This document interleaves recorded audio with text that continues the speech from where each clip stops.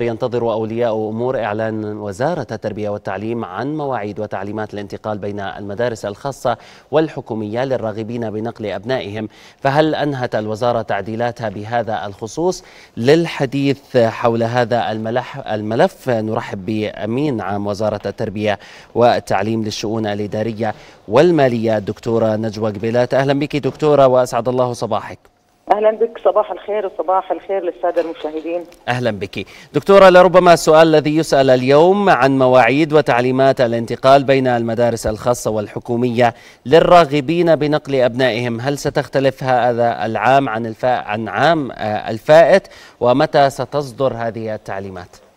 نعم هي أسس قبول الطلبة الأردنيين وغير الأردنيين وانتقالهم لقد أقرتها لجنة التخطيط المركزية في وزارة التربية والتعليم أول أمس وتم تعميمها لجميع مديريات التربية والتعليم وهي تعديل طفيف الذي جرى عليها حيث تم تعديل المدة المسموح للطلبة الانتقال أثناءها ففي العام الماضي كان يسمح لأربعة أسابيع من بداية الفصل الدراسي الأول الانتقال. أما الفصل الثاني فكان يسمح لأول أسبوعين التعديل الذي تم هو فقط تحديد المدة في أسبوعين من بداية العام الدراسي يسمح للطلبة الانتقال بين المدارس سواء كانت حكومية أو من حكومي لخاص أو العكس.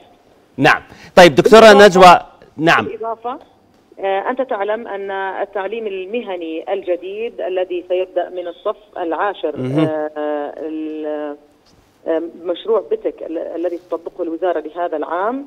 كان لابد من إدراج مادة خاصة به والتي أيضا تحد من التحويل والانتقال بين التخصصات فقط أيضا لمدة أسبوعين من بداية نعم. الفصل الدراسي نعم في العام الفائت كان هنالك قوائم انتظار وتحدثتم عن هذا الأمر ودعوتم المواطن الأردني للصبر قليلا لحل نعم. مشكلة لربما تفاقمت في العامين الفائتين بسبب الأوضاع الاقتصادية كنا بنحكي عن الأوضاع الاقتصادية وهذا سبب من الأسباب اللي دعت المواطن بنقل ابنه من المدارس الخاصة إلى المدارس الحكومية في هذا العام هل سيكون هنالك قوائم انتظار وتحدثتم سابقا عن مدارس جديدة وأيضا حل مشكلات في بعض المدارس. هل دخلت إلى الخدمة هذه المدارس؟ نعم.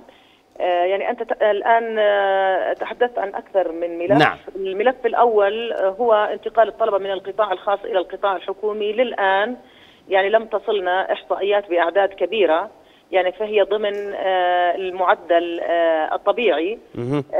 فبداية الأسبوع الأول من الدوام ستظهر لدينا أعداد الطلبة المنقولين من الخاص إلى الحكومي أو العكس ولكن يبدو أنه يشهد العام الدراسي استقرارا في عملية انتقال الطلبة بين المدارس. نعم. أما الملف الآخر وهو عدد المدارس التي سيتم إشغالها مع مطلع الفصل الدراسي الأول فهناك 21 مدرسة ستدخل الخدمة لأول مرة هذا الفصل الدراسي بالإضافة إلى مجموعة من الإضافات الصفية لمدارس قائمة أي بما مجموعه 482 غرفة صفية ستكون مع بداية الفصل جاهزة لإشغالها إن شاء الله تعالى بالإضافة إلى مجموعة غرف رياض أطفال حوالي 74 غرفة رياض أطفال.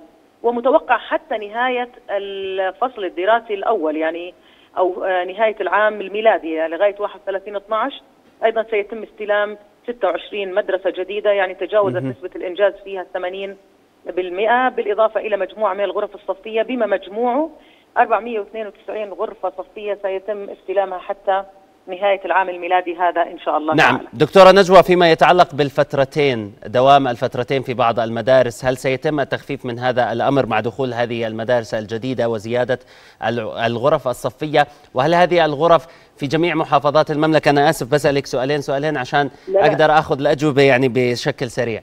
نعم. توزعت المدارس على مختلف مناطق المملكة في منها نفذ عن طريق وزارة الأشغال وأخرى نفذت من خلال وزارة التربية في منها من مشاريع المركزية في منها منح في منها مشاريع وزارة التربية والتعليم من موازنتها المركزية فبالتالي هي غطت جميع مدارس المملكة. نعم. نعم سيكون هناك بعض المدارس للتخلص من مدارس الفترتين إن شاء الله تعالى.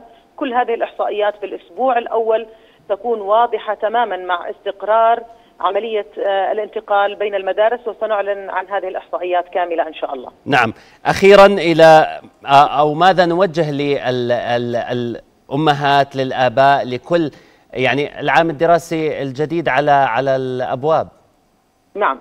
قبل أن نوجه رسالة لأولياء الأمور نحب أن نطمئنهم آه، أن وزارة التربية والتعليم تسعى جاهدة لأن تكون جاهزة حيث آه، أنها أمنت آه، في هذا العام آه، حتى الآن حوالي 8860 جهاز حاسوب وطرحت عطاء آخر تقريبا بقيمة أو يعني 5000 جهاز وأيضا عطاء ثالث ب 3000 جهاز وهذا لأول مرة وزارة التربية والتعليم سيتم توريد هذا العدد نعم. من الأجهزة بالإضافة إلى يعني حوالي 91% من الكتب الآن أصبحت في المدارس وأيضا توريد المقاعد وتصنيعها يتم كما هو مخطط له. نعم. فرساله لأولياء الأمور آه، يعني آه، اختيار المدرسة آه، الأقرب للمنزل وعدم اختيار مدرسة بحد ذاتها ويعني وضع الطلبة على قوائم الانتظار يعني التعاون مع وزارة التربية والتعليم حيث تعطي القبولات حيث تتوفر الطاقة الاستيعابية